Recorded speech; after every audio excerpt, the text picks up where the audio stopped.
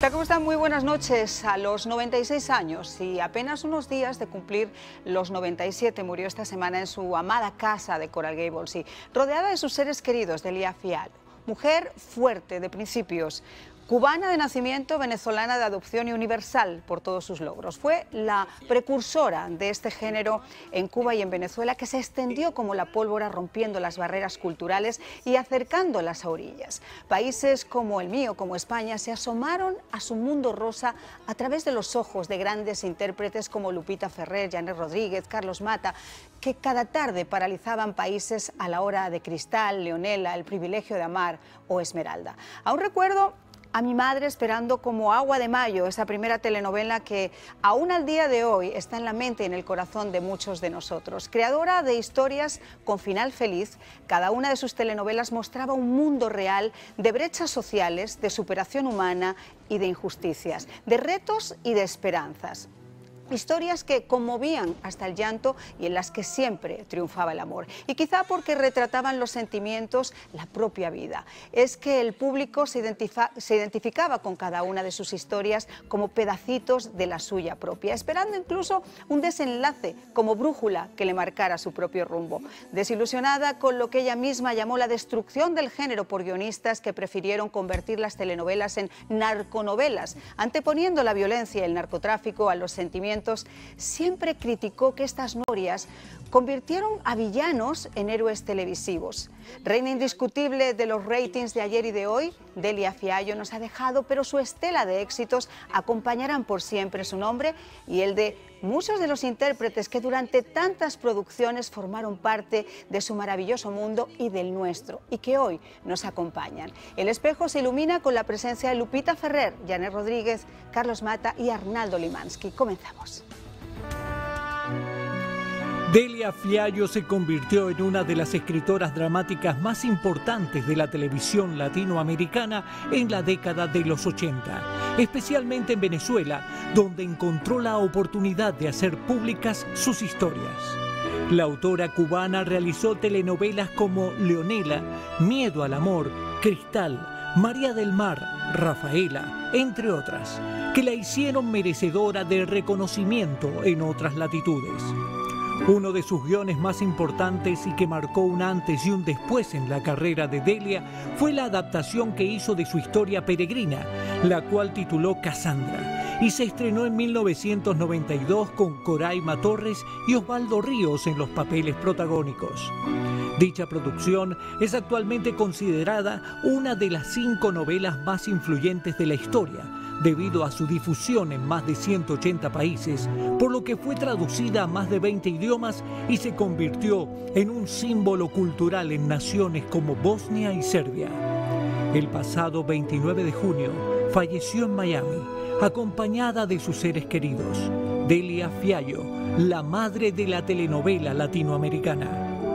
Yo sueño con la libertad de Cuba, sé que no lo voy a ver, estoy muy mayor ya, Toda mi vida pensé que el mismo pueblo cubano iba a provocar que aquellos terminara esa pesadilla y fui perdiendo las esperanzas. Y hubo un, artículo que yo escribí hace cuestión de un año o dos, que el artículo se llamaba Adiós Cuba, porque ya a mi edad ya yo sé que no voy a volver a Cuba.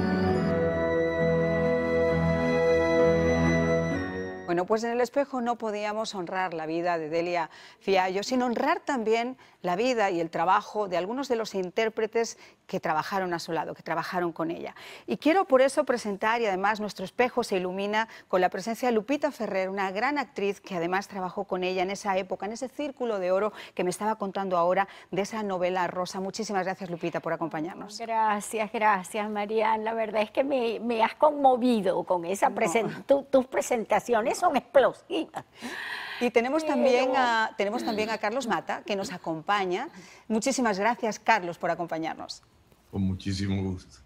Lupita, yo quiero empezar contigo porque obviamente conociste a Adelia muy bien, comenzaste a trabajar con ella muy jovencita desde los, los años 70. Cuéntanos un poco cómo era ese trabajo. ¿Cómo no? mira, para mí es un honor que me hayas invitado, a darme la oportunidad de hablar de esa eh, gran mujer, de esa destacadísima escritora, intelectual, bueno, en fin. Mira, la primera vez que yo conocí a Delia, bueno, no la conocí en realidad, porque solamente veía los libretos de ella. Ella siempre vivió en Miami. Ella salió huyendo del comunismo, ese terrible de Cuba. Eh, bueno, entonces llegó a Miami, nunca se movió de Miami. Eh, pero ella me escogió a mí por esas cosas de casualidad, simplemente, para hacer, María, lo que iba a hacer y el público. Una telenovela muy corta, porque en realidad yo lo que quería era regresar a México, donde yo había debutado en el cine con películas importantes y demás. Y yo quería eh, regresar a México. También venía del teatro. Y esa telenovela fue Esmeralda. Impresionante. Mira, allí se juntaron varias circunstancias, amigos, porque en realidad nadie sabía que eso iba a constituir un éxito. nadie. Sobre todo yo y José Bardina, que fue mi galán en esa época, hicimos una pareja mágica que se repitió después. Eh, y, fíjate, te comento una cosa, nunca hubo nada entre los dos. Yo incluso me casé, él también se casó, pero en la pantalla había como un magnetismo especial. Entonces me tocó, no pude regresar a México, cambió mi vida completamente. Y me tocó hacer el ciclo de oro de la novela romántica novelas muy dulces, como tú bien lo dijiste, con un final rosa, pero también con mucho contenido. Y además, Marianne y el público es una cosa muy especial porque hasta ese momento en Venezuela se borraban las cintas de las telenovelas. Sí, es que nunca se había visto que una telenovela de ningún país latinoamericano se pasara en el otro hasta que un cubano insigne se le ocurrió, que fue Enrique Cusco, y empezó a vender Esmeralda. Y eso empezó la vorágine de todas las novelas, María Teresa, la Zulianita, en fin. Así que eso fue un... y todo debido a la gran escritora Delia Fiallo. Wow. Eh, impresionante, la verdad que esto da para hablar, ¿verdad? Pero muchísimos programas. Pero yo quiero pasarle la palabra ahora a Carlos, porque obviamente Carlos fue también uno de esos artistas que de alguna manera triunfaron de la mano de, Delia y que aún siguen siendo recordados eh, por muchos de esos papeles, a pesar de que tiene una extensísima también carrera. Muchísimas gracias, Carlos. gracias a ti, por favor. Eh, bueno, igual que que Lupita, que me da placer verla aquí, pues eh, muy agradecido por la oportunidad de, de, hablar de alguien tan, tan importante para, para todo el público, no solamente de Latinoamérica, sino países de, del mundo entero, sino alguien tan importante para nosotros, lo que tuvimos el privilegio y la fortuna y la bendición de trabajar.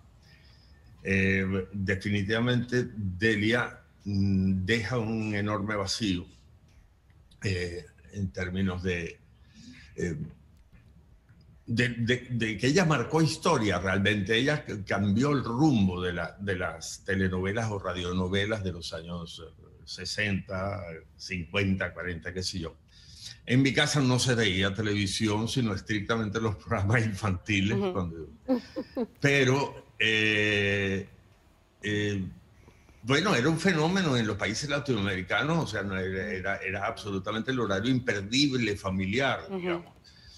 Y, eh, por supuesto, yo estudiaba arquitectura y, estaba muy vinculado a la música clásica, a la música rock y eso, pero no estaba para nada eh, interesado en ser actor, o sea, no se me ocurría, mucho menos.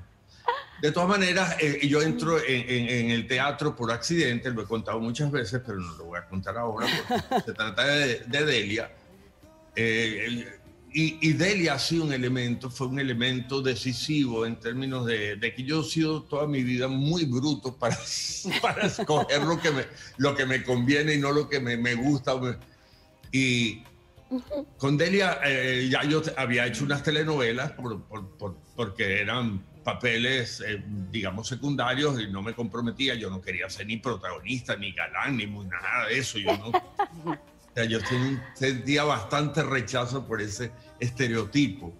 Ella me ofrece por primera vez eh, un papel en Leonela que yo acepté feliz de la vida porque el personaje era un tipo, un rockero que, se enamora de una muchacha y eran dos, dos jóvenes medio irresponsables y, la madre de ella, que era Cecilia Villarreal, era una, era una mujer muy bella, pero una mujer ya de, casi 50 años y esto eran un par de locos que, y obviamente se vinculaban a las drogas. Eh, Cuento esto porque parte de la característica fundamental de las novelas de, Delia es que Delia realmente supo leer en el corazón de la, de la gente. No era solamente lo que ella llamaba la decisión más importante de su vida, de, la vida de la gente, que es la escogencia de pareja. O sea, es esa cosa tan esa ilusión y a veces realidad, gracias a Dios, de, de, tener el compañero, la compañera de tu vida con la que vas a formar una familia. Delia toda la vida creyó en la familia, creyó en, el amor, creyó en, la, en, los valores, eh, si se quiere, éticos, eh, morales, etcétera, sin ser una hipermoralista, ni mucho menos. Eh, y ella puso siempre esos ingredientes. Todas las telenovelas de, de, de Delia siempre tiene el, el componente de interés social. En el caso de Leonela, puso, tuvo el atrevimiento, por eso te digo que es muy... Eh, eh, eh, transgresora en, alguna forma. Transgresora. Sí. O sea, la, la, trama principal es, es, el protagonista violando a la protagonista en una borrachera. O sea, mm, ¿cómo reivindicas tú un personaje así? Es muy mm. difícil. Y sin embargo, la gente termina amando esa historia y perdonando eso de una manera. Eh, bueno. En el caso mío era, eh, era, era la droga, el problema de la droga, y termina reivindicando eso y no solamente eso, sino que ella muere, la muchacha muere de una sobredosis y a él le da la oportunidad con la madre de ella, lo cual era muy transgresor también. Ah, eh, y sin embargo, y entonces termina, además es muy inteligente, ella no es que el muchacho con, con la suegra... De poder dedicar este, este último programa de la semana a Lupita Ferrer, a Carlos Mata y a recordar esa vida de una de las reinas, de la, o la reina indiscutible de las telenovelas. Pero yo quisiera seguir conversando contigo, Lupita, porque me imagino que a lo largo de tantos años a su lado tuviste muchas anécdotas, o al menos una que recuerdas especialmente. Por supuesto, por supuesto, María. Mira, eh, solamente brevemente, porque claro, eh, eh, lo de Cristal, que fue, como tú sabes, un fenómeno social en España, junto a el gran Carlos Mata y Janés Rodríguez, que la extrañamos hoy, en fin. Pero eh, yo anteriormente a eso, yo tuve una vida extraña, ¿no? Porque, bueno, de, de hecho, mira, eh, Marian, eh, estoy escribiendo mi biografía, que se va a llamar Lupita al desnudo, porque nunca he hecho un desnudo, pero ahora me voy a desnudar, pero de, corazón. Cuando yo me casé con Hall Bartlett, que fue un salto que yo di inmenso, porque de las telenovelas y todo yo salté en realidad una película internacional que fue Los hijos de Sánchez con Anthony Quinn. Entonces, no, sí, eh, para mí misma, eso fue una sorpresa. Bueno, después hubo, problemas, no te creas. Pero curiosamente, en esos días que yo estaba por casarme, o después creo yo de casarme con este gran productor de la película y director, yo sentí como una, un deseo, una necesidad de llamar a Delia Fiallo. Y recuerdo que yo le dije, Delia, estoy aquí, estoy en Hollywood, eh, estoy, no lo puedo creer, eh, rodeada de, todo ese mundo que yo siempre soñé, de grandes artistas, en fin. Y fíjate, hoy en día analizando, ya ha pasado muchos años, yo creo que yo la llamé en busca como de ese final feliz que yo estaba tan, ya yo estaba tan acostumbrada, tan psicológicamente adaptada a, sus historias. a que la protagonista sufre y demás, pero luego se empodera, se convierte y se une en amor. ¿Me entiendes? Que yo la llamé, imagínate, estando en Hollywood, ¿por, qué llamé yo a Delia Fiallo? No lo sé. Tiene que ser. Pero hasta ese punto. fíjate, tiene que ser, claro, tiene que ser muy difícil después de haber vivido esa época de las telenovelas, de haber vivido los éxitos de las grandes telenovelas, donde triunfaban en rating en todos los sitios. Sí. Quizá, y siendo honestos, viendo la televisión que se hace ahora y viendo las telenovelas que se hacen ahora. Sí, bueno, tú sabes, este... No todas, porque todavía se sigue manejando el género, pero en, una gran mayoría han cambiado mucho. Sí, han cambiado mucho y desde luego la falta de, de, algunos grandes escritores, aunque todavía quedan, ¿no? Pero bueno, eh, como la señora Delia Fiallo. Pero yo considero que la novela también debe ser un reflejo de la vida misma, ¿no? En esa época que yo empecé a hacer las novelas con Delia Fiallo, era una época romántica, Mariana.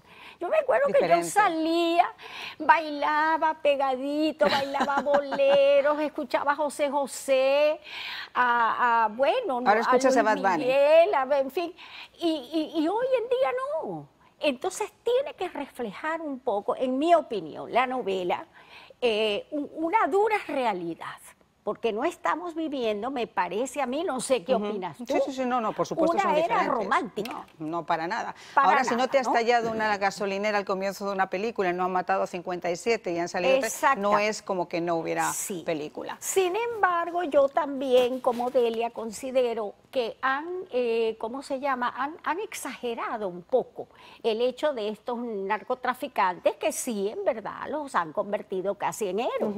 Inclusive... Una mitificación bastante peligrosa. Incluso he llegado a ver que han afectado a los mismos artistas que lo hacen. Sí, es cierto. Tú has visto que eh, eh, eh, personajes que han sido protagónicos de algunas de esas series se han visto afectados. Sí. Pero quisiera pasar un segundo con Carlos. Y una de las cosas que, Delia también se quejaba últimamente es incluso por el hecho de que algunos de los remix, de las nuevas adaptaciones de sus propias obras, tenían un significado diferente. Eh, Carlos, ¿a qué crees tú que se debe? ¿A, qué crees que se debe? ¿Por qué? Bueno, eh, em, lo, que pasa, eh, lo que pasa es, sí, yo lo hablé mucho con Delia en los últimos años, lo hablaba y, y le daba absolutamente la razón. Me dice que ella le da mucha tristeza en lo que han convertido el material de ella, que le compraron los derechos, pues le daba mucha, mucha, mucha indignación, mucha rabia, porque dice, eso no fue lo que yo quise transmitir, o sea, han tergiversado totalmente eh, las cosas. Eh, Delia siempre estuvo comprometida, como lo decía antes, con, con, eso, con tratar el tema del cáncer de mama, tratar el alcoholismo, tratar el, el, sacerdote que en un momento dado tuvo un desliz, eh, en este caso con Lupita, que mm. es fácil contar un desliz. Con Victoria. Entiendo. Era, fácil, es fácil. Con eh, eh, Victoria. sí, Yo, yo, entiendo al sacerdote en este caso, pues, pobrecito, pues, se le parece. Este, Victoria, pero definitivamente era, eso no eran temas que se tocaban en las telenovelas tradicionalmente. Entonces, ella le molestaba mucho eso a veces que la compararan con todo el respeto que a mí me merece, porque yo respeto el trabajo de Kian con Corín Tellado. O sea, la diferencia es abismal. Absolutamente. Eh, o sea, Delia es una mujer graduada con honores en letras, en filosofía, en la universidad. Sí. De hecho, y la profundidad de las historias. Ella me decía, cuando yo no quería protagonizar, ella me tuvo que obligar a protagonizar Cristal. ¿En serio? claro, porque ella me ofreció otro espacio y iba a cantar el tema y a protagonizar y un, un ejecutivo que Lupita conoce perfectamente de Radio Caracas Televisión, un hombre muy, muy celoso, muy, con muchos problemas, me dijo, mira Carlos, te este, quieren que protagonices y cantes el tema, pero o protagonizas o cantas el tema. Aquí la, oh. estrella, la estrella es el canal, no tú. Oh, Así, imagínate tú, y le dije, ah. mira, tranquilo hermano, yo no quiero ser galán ni protagonista, dame el tema ahí fuera. Y que fue Topacio, que lo hizo muy bien Víctor Cámara, mejor que yo seguramente, pero Pero así fue. Y la segunda vez ella me dice, ya yo había trabajado en Leonela. Entonces me manda a llamar y yo le mando a decir que muchas gracias, dile a Delia que estoy inmensamente agradecido porque yo no quiero ser galana, yo no quiero ser protagonista. Y me manda a llamar por el teléfono al quinto piso de Radio Caracas, ella estaba en Miami. Me dice, mi hijo, ¿por qué no quieres protagonizar? El hijo Delia, de verdad, no sabe, te beso los pies en gratitud, pero yo no me siento galán ni actuar con la, la ceja levantada y con la, la, la, voz engolada. Y ese tipo, yo no sigo para ello, vengo del teatro, yo, yo, yo, yo, quiero ser, dame un asesino en serie, algo más oh interesante. o sea, y me dijo, esto, ella se reír, me decía, Carlitos, hazme caso, hijo, porque ya te trataba como un hijo. hazme caso. Y te tocó hacer te tocó hacerle caso, te tocó agradecer. Ya tengo un minuto, pero te lo quiero dar a ti. ¿Cuál sería esa reflexión que nos deja Delia Fiallo? Mira, e, en un minuto te lo, te lo resumo, Marian. Delia fue una triunfadora completa, porque no solamente triunfó en su vida profesional, sino en su vida personal tuvo un matrimonio estable hasta el final, que ya quisiéramos muchas artistas tenerlo. tuvo sus hijos, todos adorables, todos queridísimos, y tuvo su carrera. Entonces, ¿cómo logró?